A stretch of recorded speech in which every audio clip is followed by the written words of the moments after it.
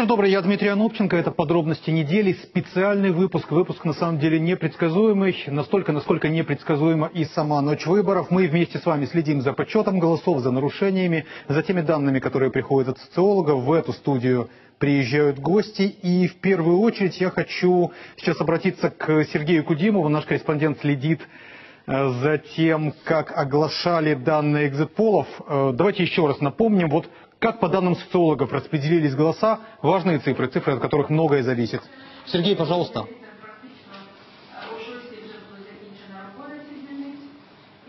Здравствуйте, Дмитрий. У нас действительно есть последние э, результаты экзит-пола, которые совместно провели Центр социальный мониторинг и Украинский институт социальных исследований, исследований имени э, Еременко. И вот цифры по состоянию на 8 на 20.00. В следующий парламент попадает, согласно этим э, цифрам, 7 политических партий.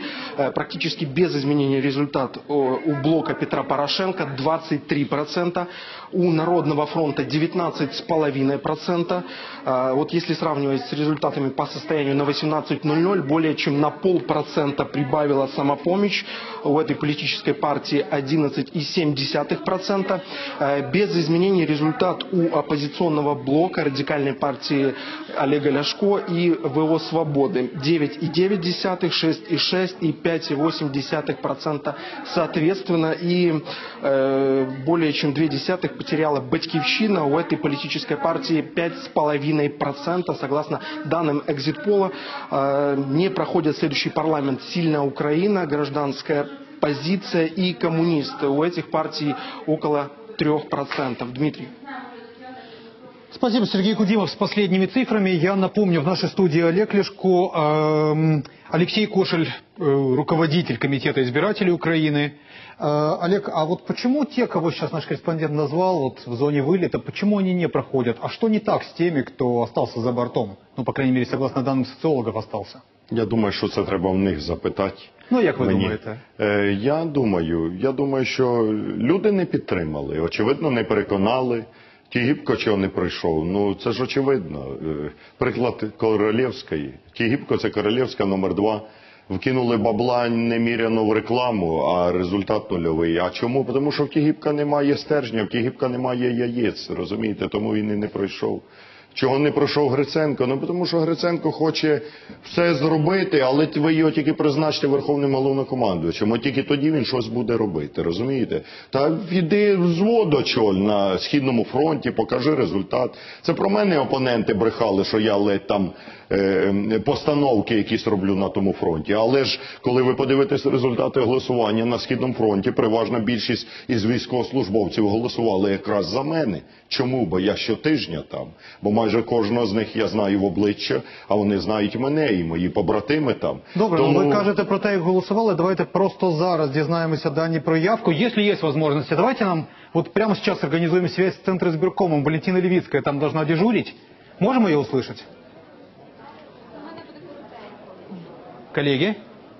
Да, прекрасно. У нас есть возможность поговорить с Центризбиркомом. Валь, а каковы последние цифры по явке? Кто проголосовал, кто не проголосовал, кто был самым активным? Что можно нам сказать?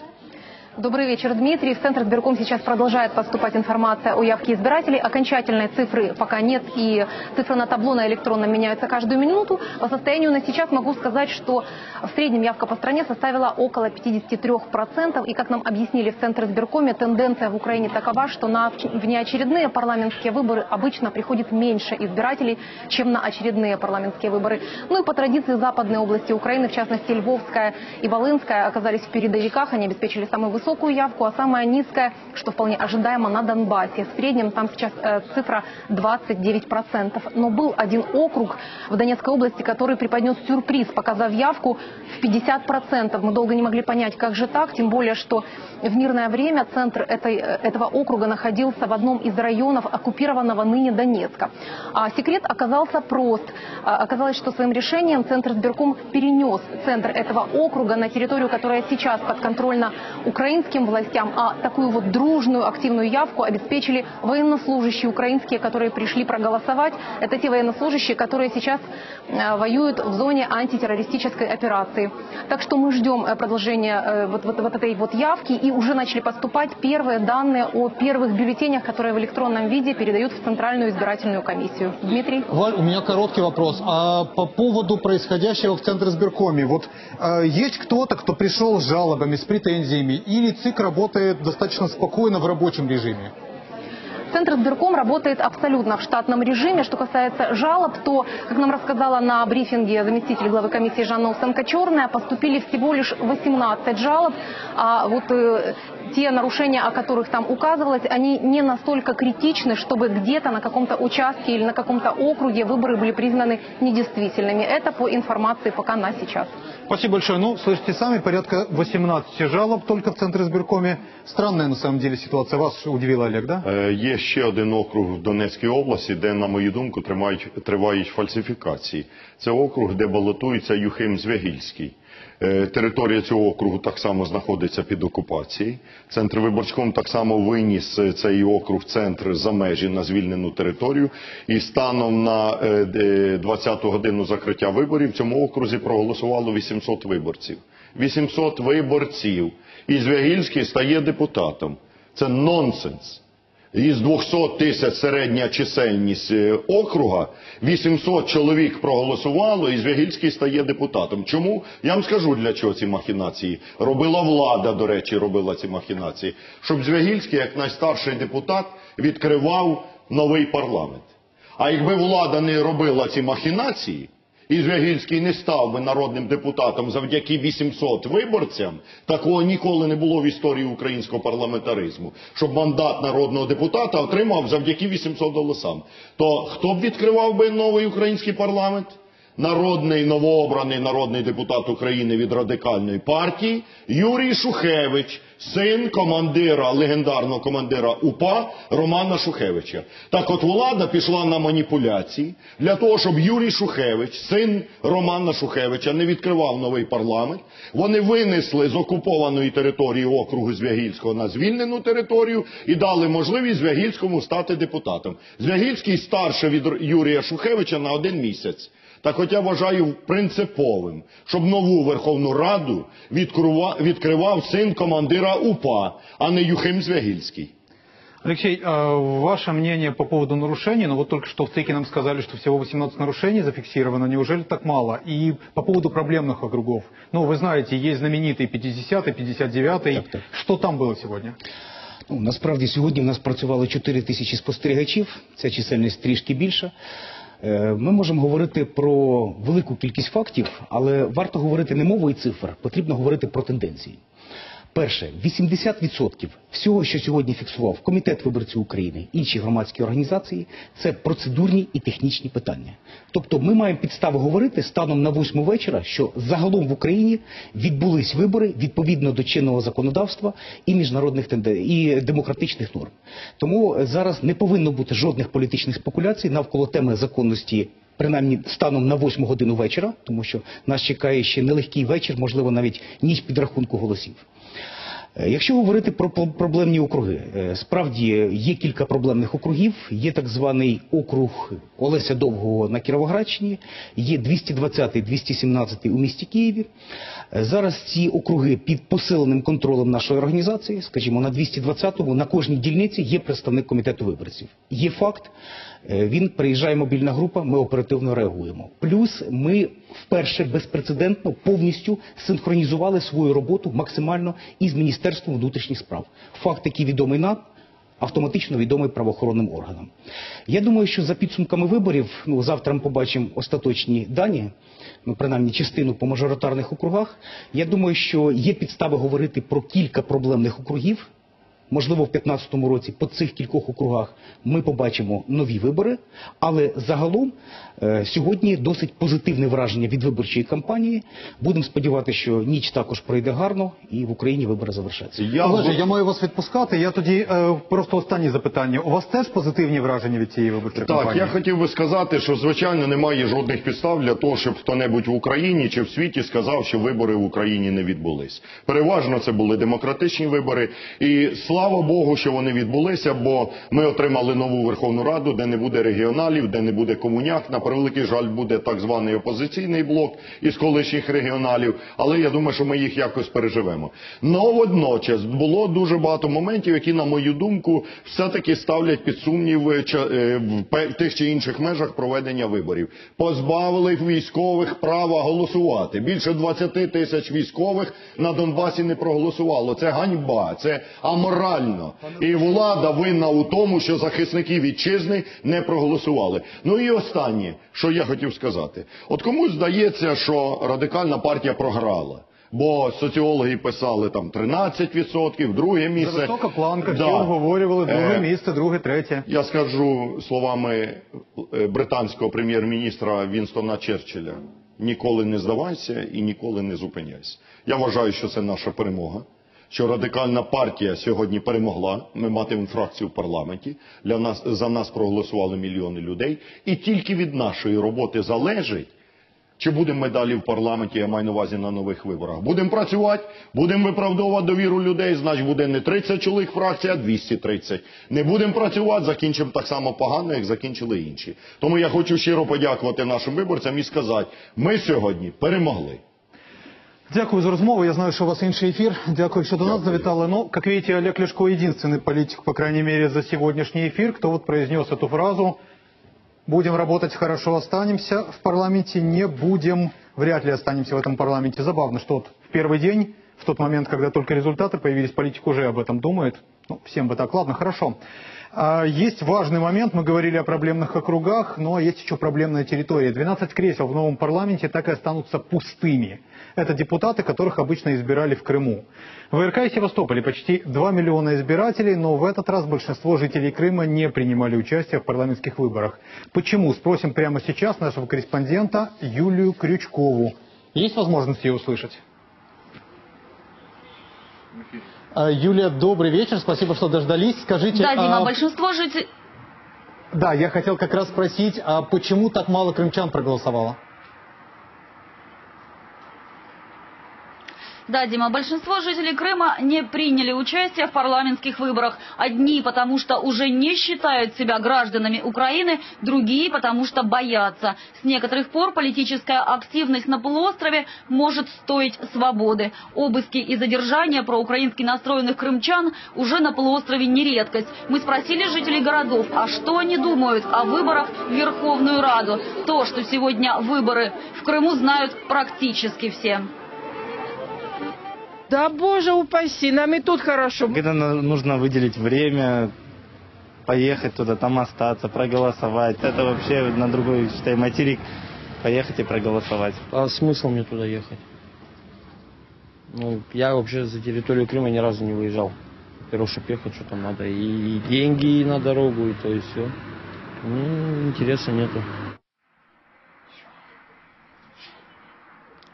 Чтобы крымчане смогли отдать свой голос, им нужно было действительно выехать на материковую Украину. Так было и на прошедших президентских выборах. Но тогда, чтобы проголосовать, на материк выезжали массово. Самыми активными были крымские татары. В Симферополе они собирались у здания Меджлиса и целой автоколонной ехали в Херсонскую область. По данным Меджлиса, тогда проголосовало несколько тысяч людей. Сейчас же данных о проголосовавших нет. Издание Меджлиса опечатано. Вот что говорят активисты.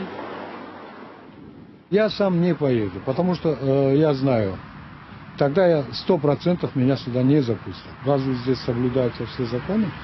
Э, разве не срывают украинские флаги? Ну и только что, спасибо нашему корреспонденту, только что мне сказали, начался брифинг Петра Порошенко. Если есть возможность, давайте прямо сейчас увидим в режиме реального времени, что там происходит и что говорит президент. що значна частина наших українських виборців не проголосує. Друзі, я пишаюсь українським народом і я пишаюся Україною.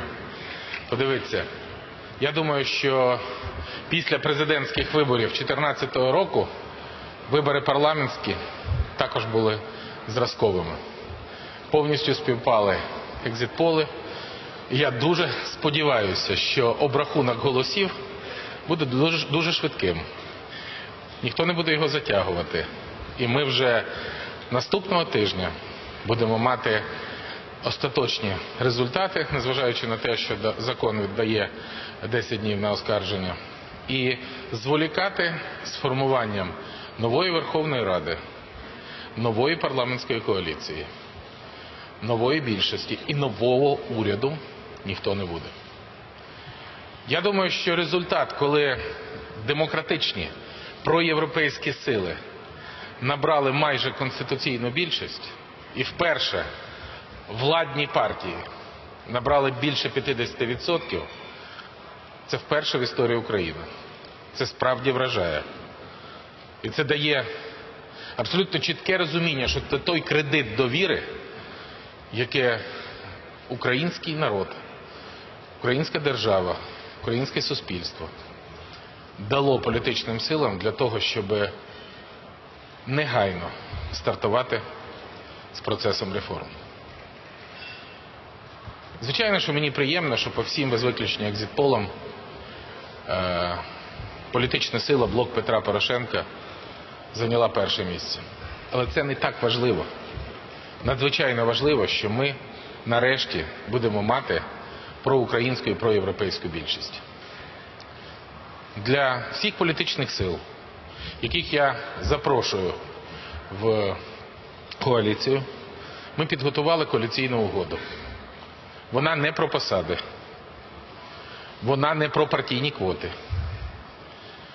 Вона про чіткі завдання, що і коли нам треба робити вже негайно, і які кваліфікаційні критерії ми маємо висувати для кожного.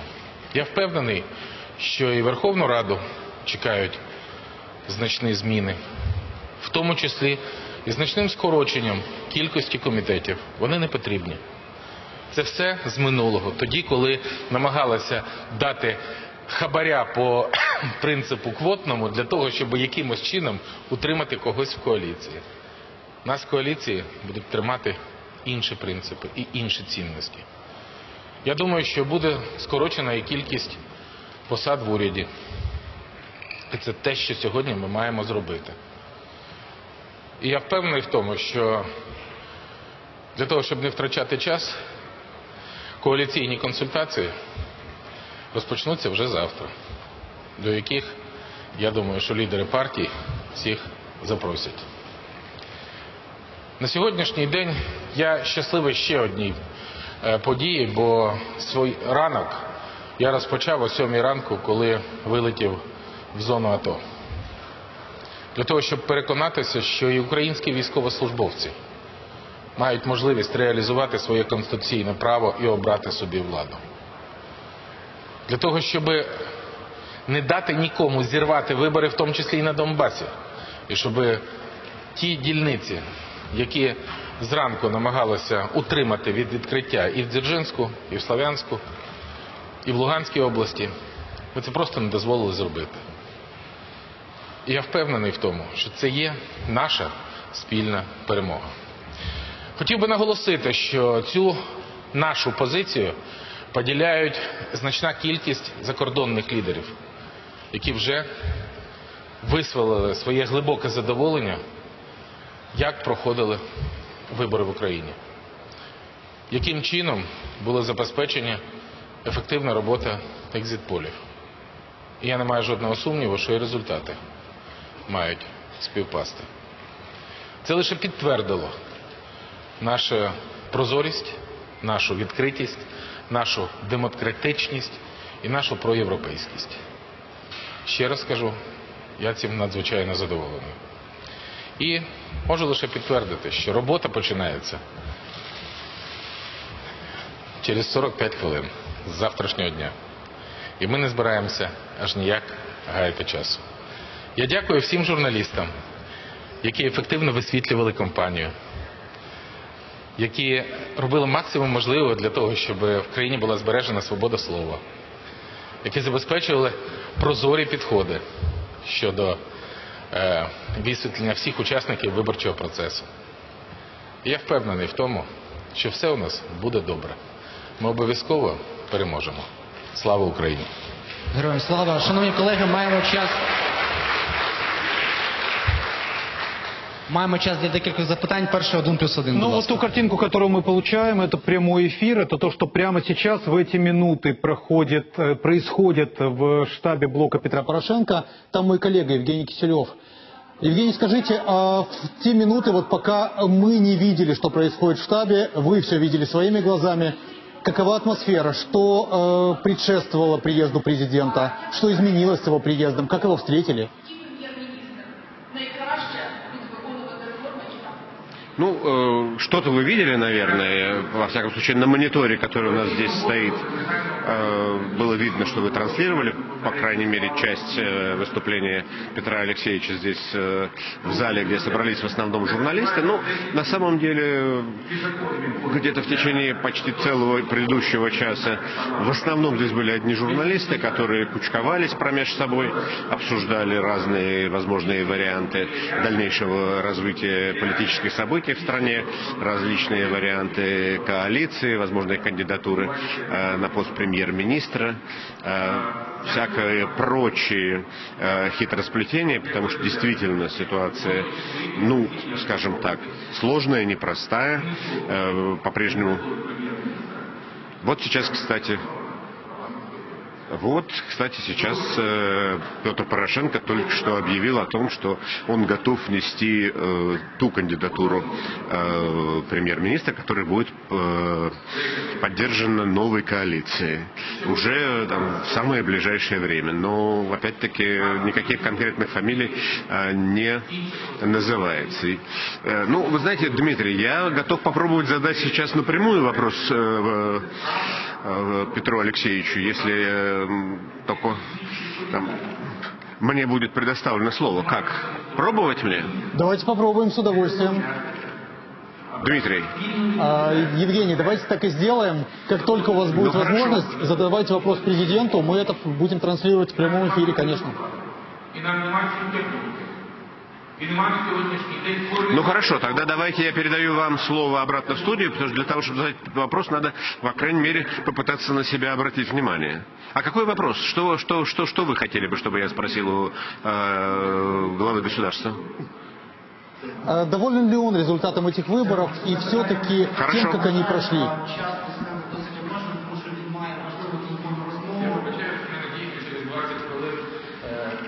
Ну я ваших послуг про Тому два питання. Коротше, питання. Я спробую коротше питання від української правди і іноземні медіа. Будь ласка, якщо маєте питання, будь ласка, піднімайте руку. Українська правда. А, Господин президент, Парашимин, Украинская правда. Евгений. Очень короткий вопрос, с кем вы будете говорить по телефону. Нет, я хотел вас спросить.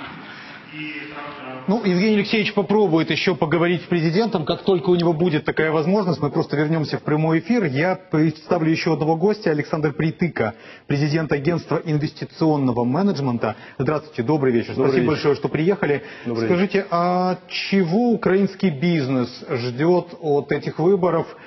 Каким будет линия нового парламента? Что должно быть решено в первую очередь? Ну, украинский бизнес, я думаю, что э, со мной солидарно будут очень многие люди. Э, С одной стороны, э, с надеждой воспринял результаты. Э, Первое, потому что эти выборы состоялись, что есть э, достаточно большой коллектив единомышленников, которые хотят процветания, хотят успеха нашей страны. Э, Потому что если у нас не будет успеха, то мы государство не сохраним. То есть для нас это определенный вызов. Что вы вкладываете в понятие Я имею в Какие виду, нужны? если не будет у нас успеха, успешной страна, Мгм. не будет успешное управление страной, то мы не сможем сохранить это государство. Э, Второй позитив – это то, что в течение ближайших 4-5 лет выборов не будет. Это само по себе беспрецедентно в новейшей истории Украины.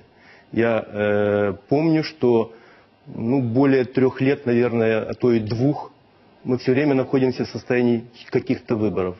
И это позволит э, политикам, причем э, всех политических сил, э, заняться строительством страны, заняться строительством государственности. Тревога, с другой стороны, существует, потому что, несмотря на всеобщий патриотизм и желание сделать страну успешной и процветающей, существует еще проблема, а какими силами это делать. То есть можно хотеть, но э, не обязательно э, это получится, потому что все зависит от того, какие кадры придут в правительство, да, какие кадры придут в государственное управление и как они смогут реализовать вот эти амбициозные задачи. Я э, более 20 лет занимаюсь управлением различными проектами э, в различных э, отраслях э, промышленности. Хочу сказать с сожалением, что эм, государственное управление и кадры государственного управления за это время прошли так называемый негативный кадровый отбор. То есть качество государственного управления неуклонно падало все это время. И э, на самом деле сейчас э, перед президентом, перед э, парламентом стоит очень э, серьезная задача. Но вы Как рассчитываете, что сформировать, сейчас это как это сформировать это правительство, да? Потому что на ошибки у нас нет времени. Ситуация в стране, в экономике, в финансах очень драматичная. И если мы сейчас опять наделаем ошибок в кадровой сфере, наделаем ошибок э, в стратегии э, реформирования, в стратегии Ошибки действий. что вы имеете в виду? Ошибки? Что может быть сделано не так? Вот Э, ну, многое можно сделано. Вот основная проблема страны на сегодняшний день, где взять деньги. Все знают, что денег в стране нет. Экономика падает. Э, Если кто-то интересовался, э, доходы государственного бюджета на 80% сформированы за счет бизнеса. Что такое бизнес в Украине? Это несколько десятков тысяч человек самодостаточных, наиболее активных, наиболее грамотных, способные создать свое дело, способные прокормить, кроме членов своих семей, еще э, и наемных работников. Есть несколько сот крупных бизнесменов, которые и формируют вот эти все доходы государственного бюджета. И э, мне кажется, что новое правительство должно начать диалог с бизнесом. Более того, э, в правительство, особенно в отраслевые ми- министерства, должны прийти люди, которые бы э, хорошо знали отрасли, которые хорошо знали проблематику и которые бы знали, что нужно сделать для того, чтобы бизнес мог вытянуть э, страну из тупика. Ведь э, что происходит на сегодняшний день? Увеличить налоговую нагрузку для бизнеса практически уже нереально. Если мы будем увеличивать налоговую нагрузку... Александр, вы знаете, мы, я Да. Слышу вас, но просто вот мы сейчас для зрителей говорим достаточно тяжелыми конструкциями, тяжелыми формулировками. Понимаю. Вы могли бы вот очень простым языком сказать, вот когда, знаете, Очень- то, что американцы говорят people from the street, для людей с Очень- улицы. очень прост- Что нужно сделать? Каких ошибок нужно избежать необходимо, необходимо в первую, очередь, в первую очередь сформировать правительство. И Так. это вот обнадеживает э, спич президента, да, О том, что это будет о том, что это будут профессиональные люди, да, которые умеют и знают, что нужно делать. Да. Это самое главное. Второе, необходимо начать диалог с бизнесом. То, что происходило вот последние там, несколько лет, да, диалог с бизнесом был э, немножко однонаправленным. То есть э, налоги давай, обвинения э, во всех э, грехах и так далее, и так далее. Да. Э, в частности, э, вопрос там, коррупции, да, общеизвестный. Да. Бизнес к коррупции э, не имеет отношения. Коррупция находится э, во властных институтах. Особенно в последнее время, э, когда во власть приходили люди не с целью э, выстраивания каких-то конкретных механизмов государственного управления, а с целью обогащения. Э, Вот это необходимо прекратить, и это в силах сделать э, именно государственная власть. Что происходило, например, в тендерных закупках? Я не Я должен вас э, прервать. Евгений Киселев задает вопрос Порошенко. А затем все-таки э, Давайте мы задать... послушаем. Да, да, да. Это вопрос, э, который я все-таки должен вам задать. Все-таки кто ваш кандидат в премьер-министры? Уважаемый Евгений, вы так долго пытали Юрия Луценко. Я с таким наслаждением смотрел, как вы 16 раз задали один и тот же вопрос. меня работа такая. это действительно талант журналиста.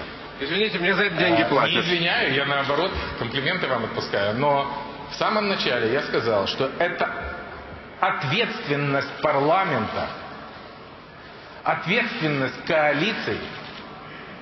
И мы наконец-то должны построить новую модель взаимоотношений избирателей, депутатов, коалиции, правительства и президента. То есть вы хотите сказать, что вам есть все, равно, вам все равно, кто будет Если вы премьер-министром? хотите вместо меня ответить, Евгений, я с удовольствием приглашу вас сейчас на сцену. Но на сегодняшний день я бы очень хотел, чтобы мы в парламенте предлагали новые традиции. Если вы хотите меня спросить, вижу ли я Народный фронт в качестве партнеров по коалиции, мой ответ – да. Это основные наши партнеры. Основные – это наши партнеры. Мы точно должны быть вместе. А кто еще? Слушайте, у нас будет открытое предложение для очень многих. Для очень многих. То есть позиция такая, я, ну, может быть, может быть, там, ну, точно не для оппозиционного блока. Но, а то я вижу, народ заволновался. Нужно было как-то это откомментировать. Но я заинтересован, чтобы у нас была коалиция в 300 голосов. Я заинтересован в том, чтобы мы провели фундаментальные изменения Конституции, в том числе изменения по децентрализации, которые, без которых страна не выживет. Я не буду сейчас рассказывать там о сущности изменений, но значительная часть, и судебная реформа, и реформа децентрализации требует конституционных изменений. Поэтому наши двери будут открыты. И требования будут не по фамилиям. Квот не будет. Готовы ли вы отдать квоту министра такой-то политической силе? Запишите, чтобы не забыть. Нет. Потому что это я обещал украинскому народу. Квот у нас не будет. А вот кто... э, да, и при этом это не будет так вот сейчас, а потом пусть премьер там набирает себе какую-то команду, а все от этого отстранятся. Нет. У нас в том-то и дело, есть эти 10 дней, когда мы должны сформировать, я очень надеюсь, лучшее правительство Украине. Потому что никакое другое с теми вызовами, которые сегодня стоят перед страной, не справится. Спасибо. На цій ноті дякуємо, шановні колеги. На все добре. Дуже дякую вам і спасибі за підтримку. Мусимо відпустити президента.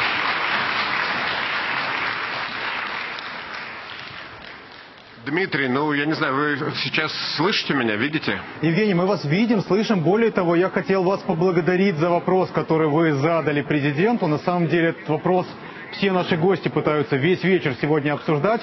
Спасибо, что это вы этот вопрос задали. И знаете, ну, на самом деле это успех, ваш успех, мой успех, наш общий успех, когда президент следил вот за тем, как вы расспрашивали Юрия Луценко, смотрят нас с вами. Значит, смотрят действительно. Ну, мне больше к этому добавить нечего. Спасибо большое, вы очень важные новости принесли в наш эфир. Спасибо за вашу работу. Евгений Киселев, напомню, на нашей второй площадке в штабе блока Петра Порошенко. Мы еще с ним увидимся и услышимся, если можно. Давайте сейчас переключимся на Днепропетровск. Там Наталья Грищенко о ситуации в городе, о том, как выборы прошли. Да, Дмитрий, на фоне относительно спокойной картины голосования по большинству районов центром напряжения стал Кривой Рог. Дело в том, что сегодня там стреляли пр- прямо посреди бела дня. Неизвестные, находясь в автомобиле Volkswagen, выпустили очередь стоявшую неподалеке Шкоду. Двое мужчин, находившиеся там, получили ранения, они госпитализированы, их жизни ничего не угрожает. Э, Узнав об этом инциденте, международный наблюдатель, э, депутат Европарламента Милослав Рансдорф э, выехал сразу на место события. Если э, ведутся такие э, дела, ну, что э, цель этого напугать людей. И я думаю, что э, дело главное, чтобы ну, э, Украина стабилизировалась, и люди, которые э, занимаются такими, такими-то действиями, они против э, демократической стабилизации Украины. Но в милиции уже заявили, что к выборам этот инцидент никакого отношения не имеет. Дело в том, что ни стрелявшие, ни пострадавшие не являются ни членами партии, ни членами общественных организаций. Машина известна, хозяин машины известен. Предварительно по э, нашим данным, стреляло. Ближайший избирательный участок от места происшествия находится на расстоянии одного километра. Скорее всего, это относится к каким-то межличностным отношениям или каким-то разборкам.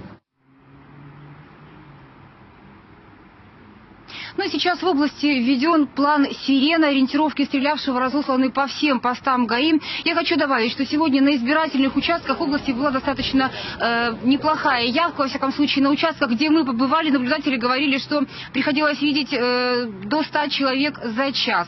Ну и характерная особенность этих выборов, однако, э, многие избиратели до последнего раздумывали, держа в руках бюллетени, они не знали, за кого отдать свои голоса.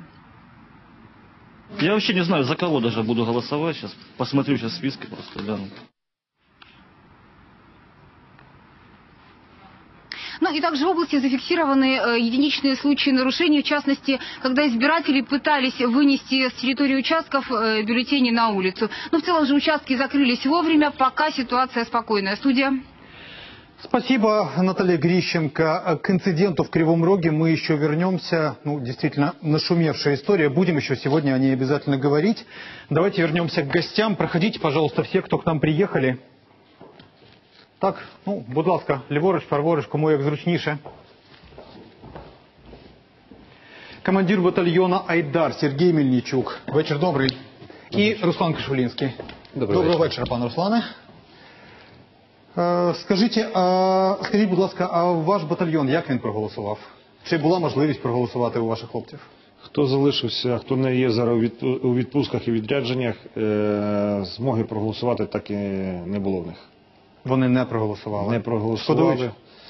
Звичайно, шкодують, е, тому що у нас основна маса батальйона це вихідці з Майдану і вихідці з, Луга, е, з Луганської області, яких е, найбільше всього хочуть е, змін якихось і не дати їм проголосувати. Це, це, погано, це дуже, дуже погано і гарант разом із Верховною Радою мали були забезпечити їх, тому що ці люди, в першу чергу, хто відстоюють державність, от, мали були в першу чергу проголосувати. Але це ще не все.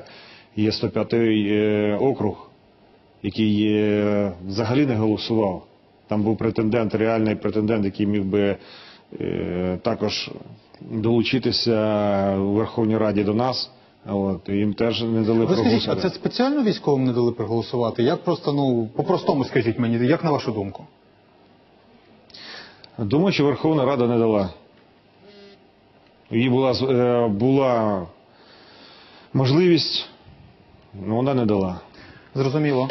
Е, Руслан Кошелинський, я нагадаю, представник «Свободи». Скажіть, будь ласка, а як ви прокоментуєте ті цифри екзитполів, які весь сьогоднішній вечір, всю сьогоднішню ніч ми оголошуємо? Е, Як для вас ці цифри?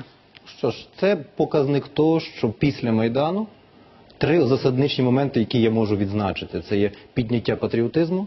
Зауважте, всі політичні партії, сили, які вже згідно екзитполів проходять, всі, окрім однієї, мають одних героїв. І на слава Україні якісно відповідають героям слава. І ті герої для них однакові. Окрім однієї, такого ще не було в історії країни, коли люди сповідують, ну це як правило всі патріотичні е, партії, всі проукраїнські партії, які говорять і мають одне бачення, окрім однієї. Тому треба, ну скажімо, вітати, наскільки патріотичніша стане Верховна Рада після Майдану.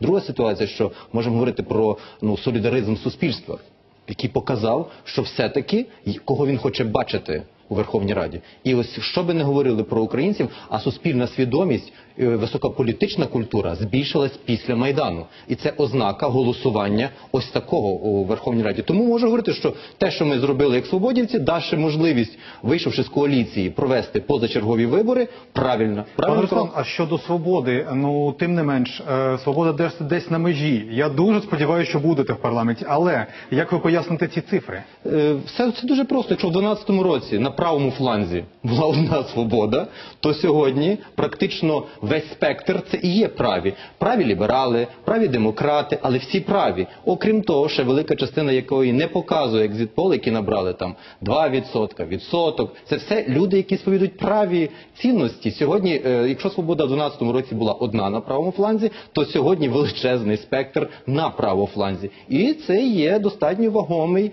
е, завдання для свободи, як боротьба вже не просто однієї партії, а вже між правими боротьба програм. Давайте напомним зрителям сейчас те цифры, которые принесли нам социологи. Я напомню, это не окончательные результаты, а всего лишь данные экзит-полов. А вот насколько они будут отличаться от реальности, прямо сейчас и узнаем. Если можно, дайте слайд, давайте цифры напомним. Итак, мы провели собственный соцопрос. Ну, не совсем мы, социологи, по заказу нашей программы, по заказу нашей редакции провели соцопрос. Так вот, согласно данным экзит-пола, э, блок Петра Порошенко набирает практически 23% голосов, 19,7% у Народного фронта, 11% у партии «Самопомощь», э, 9,9 оппозиционный блок, 6,6 радикальная партия Олега Ляшка, 5,8 у э, Всеукраинского объединения «Свобода» и 5,7 «Батькивщина». Социолог Ольга Балакирева с нами сейчас на связи. Да, да. Ольга, скажите, э, если можно, во-первых, объясните Да, мне, где у нас вечер. связь с Ольгой. А да, Ольга, я вас слышу, но не вижу. Сейчас нам замечательно помогли нам наши режиссеры вас увидеть. Спасибо, что присоединились. Скажите, а вот цифры на 6 и на 8, они все-таки немножко отличаются. Чем вы объясните это различие? Вы знаете, мы данные собирали сегодня три раза. Э, Мы еще собирали данные по состоянию на час дня, и они и между собой несколько отличались. Это абсолютно нормальный процесс, потому что избиратель разный, активность разная. У нас всегда активность отличается в разных регионах, в сельской местности, в больших городах. Поэтому данные несколько колеблются. По- этим параметрам и отличаются те эм, поддержка политических сил.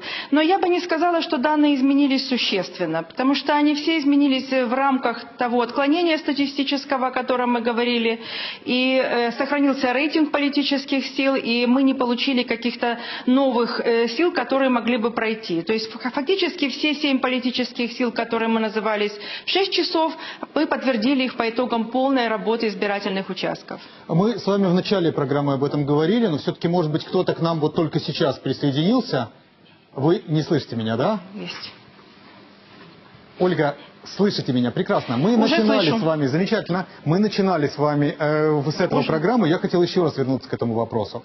По вашим данным, э, по уточненным данным, по состоянию на 8 часов, какие партии точно проходят, вот согласно данным э, экзит-полов, и кто все-таки в зоне риска, и кто точно не проходит? Вот давайте перечислим, чтобы зрители понимали, как трактовать эти ваши цифры.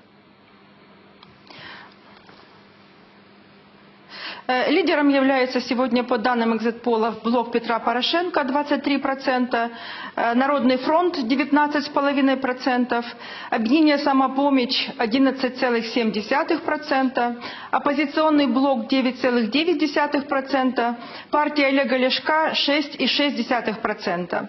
И дальше есть две политических силы, которые, как мы говорим, в зоне риска, поскольку они преодолели 5% барьер, но не достигли даже 6%. Это объединение «Свобода» 5,8% и «Батькивщина» по уточненным данным 5,5%.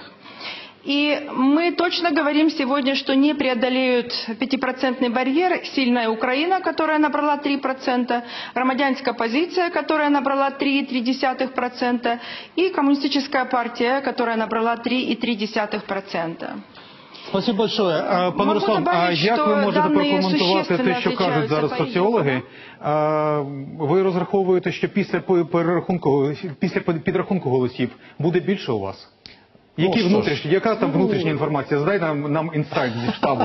Що там ваші кажуть Ні, тобто е, у нас на всіх дільницях буде підрахунок. Ми маємо на всіх дільницях членів дільничних комісій, які відкрилися і працюють. Отже, я надіюсь, що підрахунок буде чесний і не буде тих зловживань. Найбільше насправді зловживань зараз стосується щодо мажоритарної складової. Тобто ще раз можна підтвердити, що ця форма виборчої виборча є не, не недостатньою.